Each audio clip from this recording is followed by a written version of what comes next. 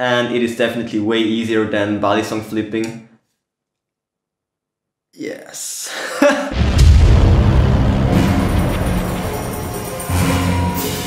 Initiating. Hello there, I'm Chris and I would like to show you some of the moves which I used in my 3D printed CSGO Karambit video and a little bit more. I am new to Karambit flipping but I consider myself as an advanced balisong flipper and all the tricks that I'm going to teach you came to me very quickly and it is definitely way easier than balisong flipping but at least as enjoyable. It is fun. Short side note, these are only trainer knives but they still do considerable damage if you hack them into your skin just like that. That is to be avoided. First of all, basics. This is called the reverse grip. This is a common grip and it is very easy to flip in this grip since you spin it around your pointer finger and not around your pinky as in the forward grip. But you can and you should practice every trick, every flip in both grips reverse grip, spinning it around your pointer finger, and forward grip, spinning it around your pinky finger. And the first trick you should learn is the backspin and it looks like this.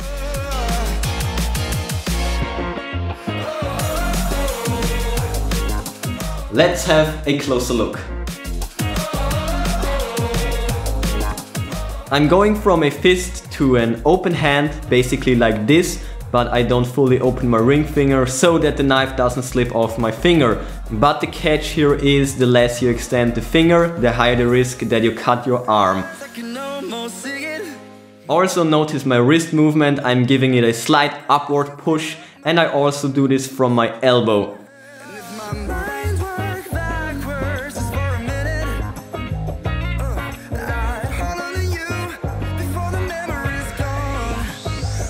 Let's combine this. Wrist down, elbow down, up, up, and throw.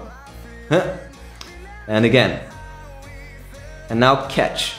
Up, up, catch. Up, up, throw, catch. Right? It is as easy as that. Requires a little bit of practice, but you should get the hang of it rather quickly.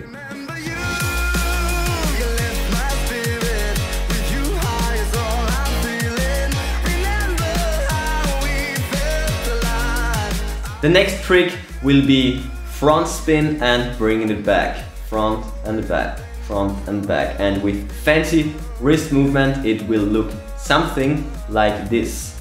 Front, back, front, back, front, back, front, back, front, back, front, back. And you can go pretty fast with these, alternate and do crazy. But anyways, let's have a closer look. Let's start with an open hand. The thumb does nothing and now just swing it forward and bring it back. Swing it forward, bring it back. Swing it forward, bring it back.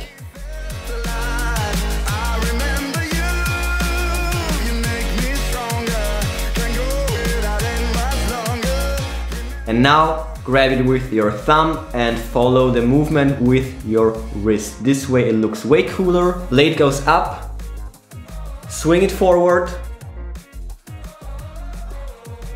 bring it back, catch it and blade goes up again.